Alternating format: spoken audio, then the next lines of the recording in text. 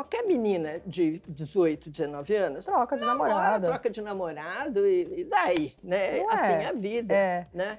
E não quer dizer nada. Eu converso com as, Eu tenho duas netas de 15 anos, né? Aham. E eu falo muito, eu falo, olha, a coisa mais importante para uma mulher é autonomia financeira. Porque a minha mãe era muito submissa. E, e o, o que me deu na. ficou claro que eu não queria ser como ela, foi um dia que eu vi a minha mãe pedindo dinheiro para meu pai para comprar um sapato branco. E ele falou, mas você já tem. Eu olhei aquilo e falei, eu na vida pedi dinheiro para alguém para comprar um sapato, mas nunca vou fazer isso. Mas eu era pequena, já estava em mim aquilo. A minha mãe era uma pessoa muito culta, que falava pouco e bem submissa ao marido, como eu contei. E eu Uhum. não queria nada daquilo. Tá. Então, é, mas ela sempre deu muita força.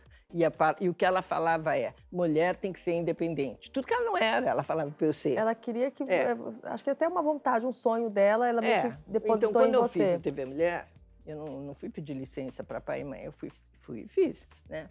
Mas eu cheguei da primeira gravação e falei, mãe, como é que foi? Foi o primeiro lugar que eu fui perguntar. E ela falou assim, ah, minha filha, você mexe muito a mão e o batom estava vermelho demais. Eu aprendi um pouco o que é a televisão.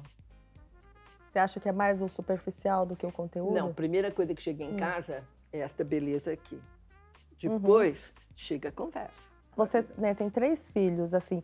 Com eles, assim, abertamente, eu acho que você conversava mais com eles sobre sexo do que o próprio sobre si? Quem que conversava mais essa coisa Eu de, era mais presente, né? O Eduardo já estava na campanha de todas as de campanhas conversar nas assim, políticas. tipo, ó, tem que usar camisinha, tem que fazer Ah, isso, sim. isso. Você que foi É, eu ah, era bem... mentor, assim, É, de- mentora que sempre- deles, assim, nessa, na vida falei. sexual. Mas não era uma coisa assim, hoje vamos falar de sexo. Fazia parte da vida.